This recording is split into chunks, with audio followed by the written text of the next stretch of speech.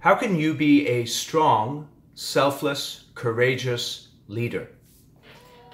Well, first you have to acknowledge that you're naturally lazy, selfish, and fearful. We all are. And so I'd like to give you a little illustration to help you this week.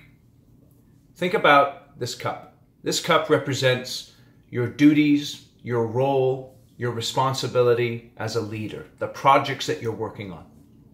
And inside this cup is pain. This cup is filled with pain. The pain of making tough decisions, the pain of having difficult conversations, the pain of being the leader.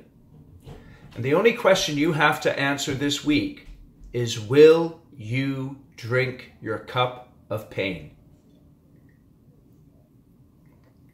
Because if you do, the pain will set you free from your laziness, selfishness, weakness, and fear, and enable you to be a strong, selfless, courageous leader.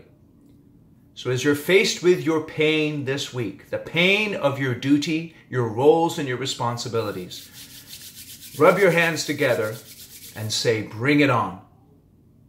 Remind yourself that the pain will set you free from your laziness, selfishness, weakness, and fear. So learn to love the pain. Bring it on. I love the pain. The pain sets me free. Those are three things that you should be telling yourself again and again and again. And if you do, it will set you free from your laziness, selfishness, weakness, and fear and enable you to be a strong, selfless, courageous leader. This tip is inspired by the book The Tools by Phil Stutz and Barry Michels. It's a good book. You should check it out. My name is Eric Anderton. Appreciate you watching this video.